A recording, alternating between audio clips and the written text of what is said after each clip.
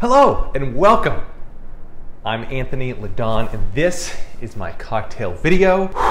Today, by special request from Genesis Jimenez, we're gonna be making the margarita, but not just any margarita. No, no, no.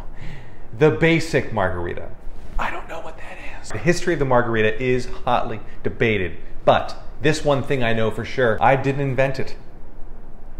Or did I? One origin story on Wikipedia, that bastion of incontrovertible facts, states that Carlos Danny Herrera at a restaurant situated exactly halfway between Tijuana and Rosarita, Rosarito, Baja California. Oh, I could just say that. Baja California. Made it for a dancer named Marjorie King. Apparently, she was allergic to many spirits except tequila. First of all, Danny, if you're going by a name in quotes, you haven't thought this whole thing through. Why keep the Carlos part up front? Just go by Danny Herrera, right?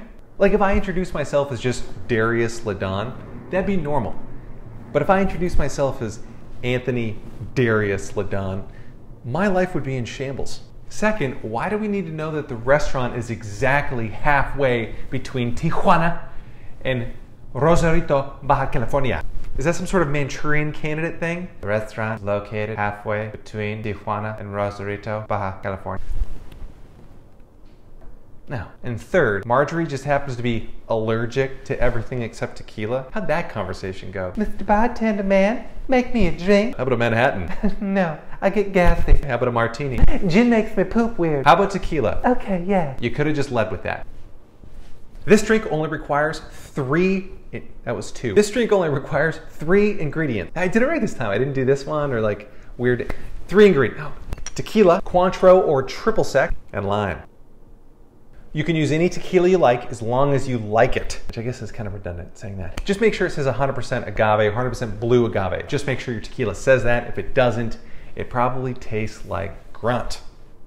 The second key ingredient for this drink is going to be Cointreau or triple sec. Now, you can taste both. Cointreau has a little more, like a, a, little stronger orange flavor. It's a little less sweet. Hiram Walker or De Kuyper make a triple sec. This is cheap stuff. It's not bad. It's actually pretty good because it's a little bit sweeter and you might need some of that sweetness for the drink to counteract the lime. Marie Brizard, if I'm pronouncing that correctly, is my absolute favorite triple sec maker, but that stuff costs three times more than this stuff. This is bottom barrel, and this is what I end up using almost every day. Uh, I do kind of like the 60 proof part of this because it's not quite as syrupy sweet as the regular triple secs. You can experiment. Try out different triple secs, see what you like. Orange curacao, same type of liqueur.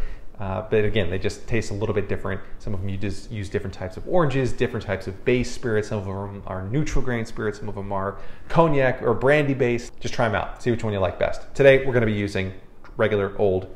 Is this Hiram Walker? Yeah, Hiram Walker, 60 proof, triple sec. Oh, and lime. Quick thing about lime freshly squeeze it. Always squeeze it fresh. Don't use that shitty store-bought stuff. It doesn't even taste like lime. Let's let's prep our lime juice. You'll notice I'm using a double strainer here. The whole point of a double strainer is just to make sure that there's no pulp that gets into the the final drink. I just don't. It's not. It's not good. It's not fun.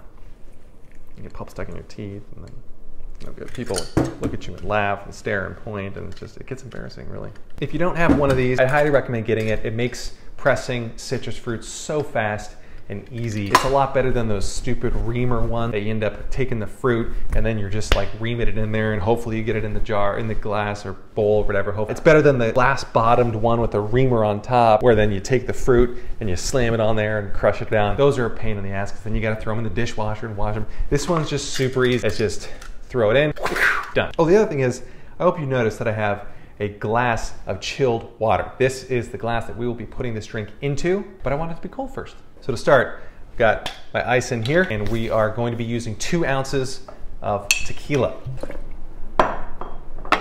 Next up, three quarter ounce lime juice.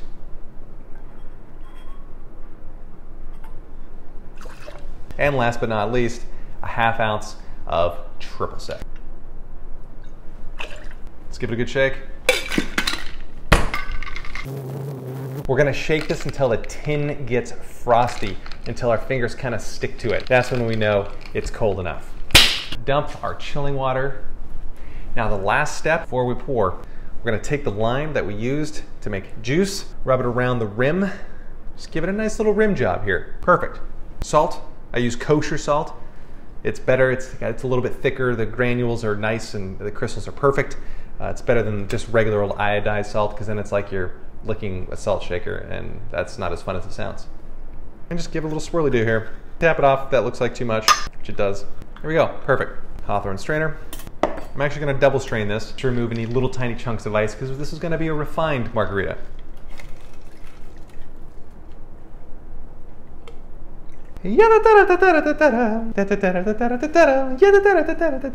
There we go, the margarita. Let's try it. You get a nice salty kick up front. You got the acid from the lime coming through, the, the orange triple sec to kind of mellow it out just a little bit. And all throughout that whole sip, the flavor of the tequila is coming through. Oh, oh my God, that's so good. Now, let's say you just want to have this in a little less formal setting. Get yourself a double old fashioned glass, put a cube in there. Let's see if I can do this without making a mess. No mess. No mas. Now it's already chilled, so you don't need to have a ton of ice in there. But if you wanted to take the super lazy way out of this, and I've been known to do this a lot, fill the glass with ice. You don't even need to mix and shake. You don't need to shake the whole thing.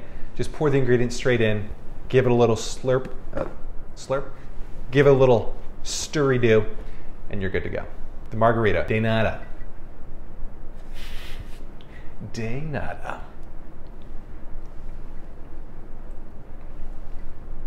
Oh my god.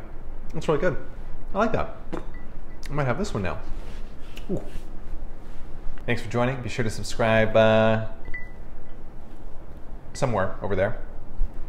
You can click to see more videos here. Also here. Thanks for joining. Don't forget to subscribe and click in one of these areas for some more videos. Hope to see you again soon. Thanks.